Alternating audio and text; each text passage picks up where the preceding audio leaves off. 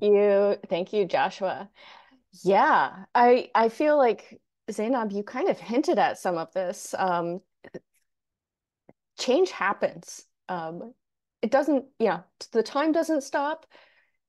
Things change. So what we're going to talk about in the next 10, 15 minutes is where OpenMRS started, um, different OpenMRS initiatives around the year, around the world, and how OpenMRS has evolved.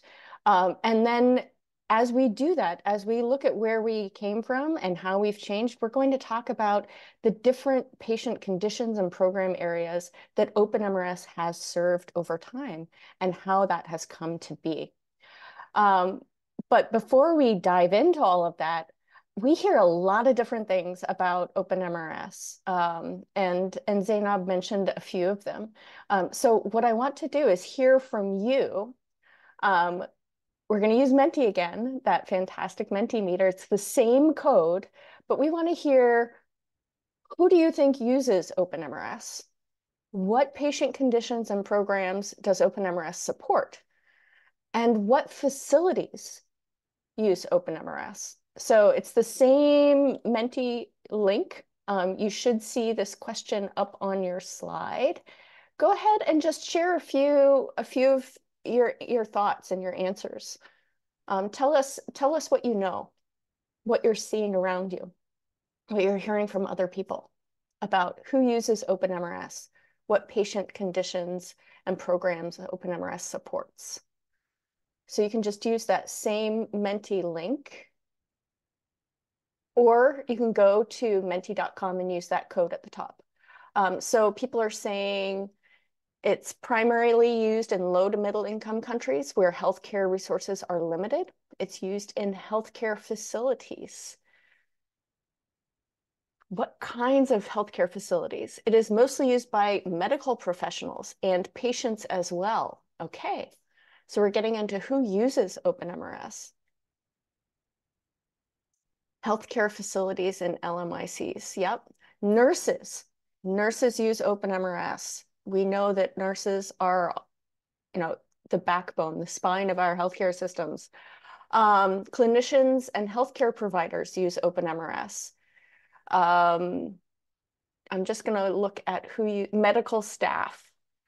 Um, and then let's talk about different facilities. We hear clinicians, uh, future-driven e-hospitals with limited resources that provide even better workflows can use OpenMRS. Um, people are saying healthcare centers, hospitals, um, health service clusters, um, HIV AIDS, they can be used, somebody's saying OpenMRS can be used in any setting for all health programs, regardless whether the facility is a primary health facility or inpatient facilities. Um, so it can be used for all kinds of specialties, all all conditions because of the use of standards, hospital, and it can be used for hospital and primary healthcare facilities. Data clerks, HIV, uh, healthcare providers, people are saying that it can be used for HIV, ANC, COVID, um, tuberculosis. It can be used in government institutions, in low-income medical centers, in clinics. Um, we're hearing a lot of different ways that, you know, a lot of different users, mainly at health facilities who are using OpenMRS, um, and for a lot of different patient conditions and programs, um, and a lot of different types of facilities. Fantastic. Well, how did we get here? Um, that's what that's what I want to I want to dive into a little bit now. Um, we've we've heard, you know, Zainab mentioned what is global goods, and OpenMRS is a recognized digital global good.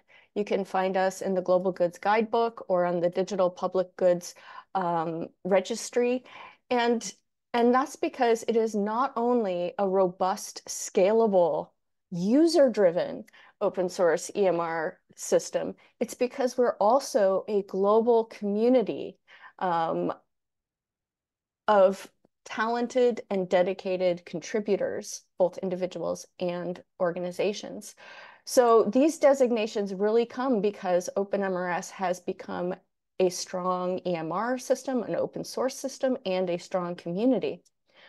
Um, so from the beginning, I want to talk about our values a little bit. Our, our values are what have driven us forward. Um, and from the beginning, addressing the real needs of users has been one of our guiding principles. So when we think about how OpenMRS was designed and built out in the open in a modular way from the very beginning, this means that anybody can reuse and customize OpenMRS to meet the needs of any health service and program area. So that's great um, because it doesn't limit where OpenMRS can be used or what programs or users can use OpenMRS. But that also means that at the beginning, there was a pretty big challenge. Building an EMR system is a significant undertaking. Where do you even start? So I want to roll the clock back a little bit. Let's go back about 20 years and take a look at where OpenMRS started and how we began building out this EMR system. So think back to 2004, if you can. Um, this is when sub-Saharan Africa was seeing 2.3 million adult and child deaths due to HIV AIDS. And fighting the HIV epidemic, increasing access to treatment was a high priority for many countries, for many healthcare providers, and aid agencies. So let's think about it some more. In 2004, PEPFAR was barely a year old. And in 2004, OpenMRS started with a single clinic in Eldoret, Kenya. The main health issue of the day gave us our first significant use case um, to try to start building out OpenMRS as, you, as we know it. And that use case was HIV AIDS. Now, in 2004, we also know that the majority of health record staff at health facilities were responsible for managing paper records. And so those health record staff, those health record officers and data clerks, they became our first target user. So whether it was country leadership or program leadership, healthcare providers, developers, everybody was eager to build and use OpenMRS to give quality healthcare treatment to people living with HIV and get the epidemic under control. And since our community values being user-driven, we started with this first use case and this first target user in mind, knowing that other use cases and other target users would rapidly follow. So this meant making decisions about our technology and our design that would allow developers to reuse OpenMRS for other patient conditions and other users as time went on. And time passes, right? So over the next two to three years, South Africa and Rwanda began using OpenMRS to achieve their goals for controlling the HIV epidemic. And we started seeing significant investments from PEPFAR, leading to an increased number of OpenMRS country implementations that focused on adapting OpenMRS to help curb, once again, the HIV epidemic and monitor progress towards those important goals like 95, 95, 95, where I remember there was a lot of talk in 2016, 2017, 2018 about 95, 95, 95. And by that time, OpenMRS was being used in 17 countries, serving 5 million patients who were going and receiving care at over 1,100 health facilities.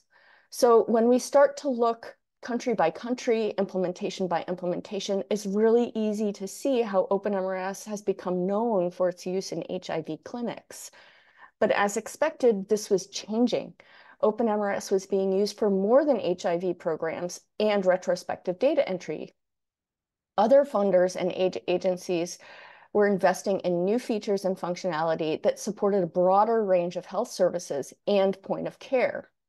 And the ref reference application the second iteration of OpenMRS, which was already a, a key component of PIH's EMR, was on the way to becoming the backbone of many other country-specific OpenMRS distributions, um, including Kenya EMR, Uganda EMR, and Nigeria, uh, Nigeria MRS.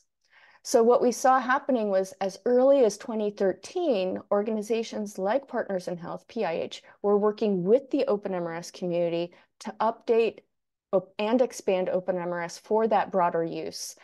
across health facilities like Haiti's University Hospital in Mirebalais, which is a teaching hospital with 320 beds. And providers were on their way to using OpenMRS at point of care now to support primary care, maternal health, NCDs, surgery, oncology, emergency direct services, pharmacy, and radiology. And then during 2015, in the Ebola, with the Ebola outbreak in West Africa, OpenMRS was also adapted to support that intensive clinical care at Ebola treatment centers. Meanwhile, back in Eldoret, where OpenMRS first started, Ampath was creating a custom version of OpenMRS that was also being used at point of care, and their experience is informing our current focus. So here we are 20 years later, and OpenMRS is now being used at more than 8,000 health facilities in over 40 countries and managing the health records for more than 16.6 million patients. And these are not only HIV AIDS patients or people living with HIV AIDS. These are people coming for primary health care, for maternal and child health, for a broad range of patient conditions.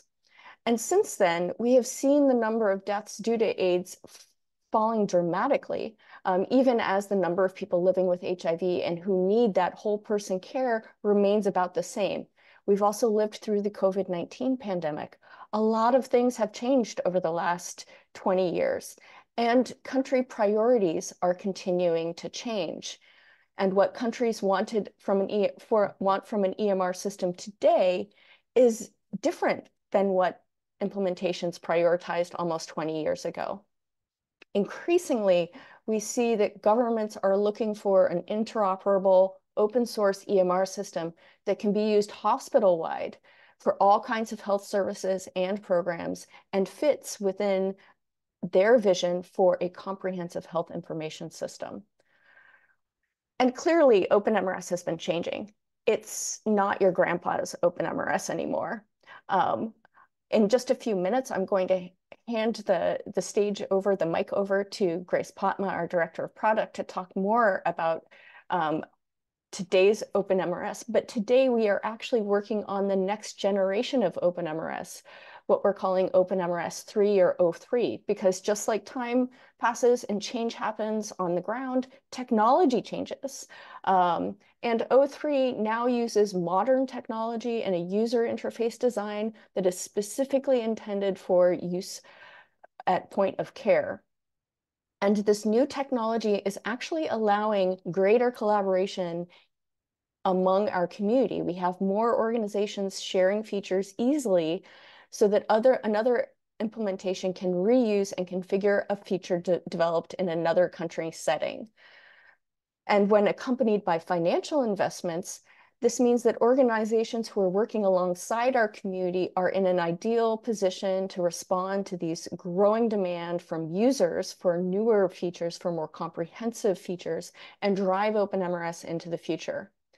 So as you can see here, we're seeing a number of organizations, a growing number of organizations collaborating together within the community.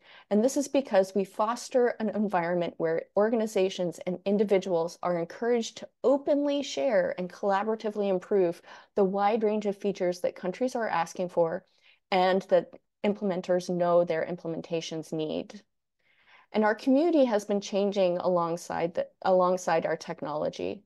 Um, we've been making changes to our community that accommodates this growth and creates new opportunities for leadership and collaboration while still remaining true to our open source values that we know work. What we know works is being user-driven, being open, and being transparent. We also know that alignment is one of the secrets to our success, as long as we're not overly prescriptive and allow teams the right amount of autonomy to get things done. This hasn't been easy. Um, collaboration is harder than it, it seems. And what worked well in the beginning had to change as we grew. So in the past, we had a very simple community structure that provided great alignment around our platform and our reference application. It worked really well when we were a small community, but we've been growing a lot. And now our technology and our, our environment needed to change so that we wouldn't have to be limited um, in our innovation, and people could rapidly get stuff done. Um, the implementations were provide, prioritizing. So what we did is revised or updated our community model so that it consists of different squads and teams that are engaged with implementers and have community support. And each squad or team now works together to solve a particular problem and keep collaboration happening in a very coordinated way. Um, we'll talk a little bit more about this tomorrow in our community session. And then these squads are actually supported by an OpenMRS global support team um, that is actually spread out throughout the world. Um, this is another thing that we often hear is that OpenMRS is, is supported by people who live in the global north.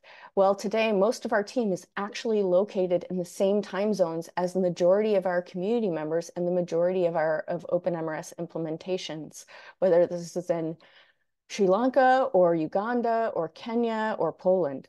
So this really makes a huge difference when it comes to being able to support people who want to grow OpenMRS and um, and actually share features and and really benefit from um, an open source community. I want to dive more into all of this, but I know that we have um, more to dive into around the product side, and we'll have time on Wednesday and on Thursday to really dive more into how our community works and how you can get engaged and inform where community where OpenMRS is going. So with that, I'm going to hand things back to Joshua. Thank you.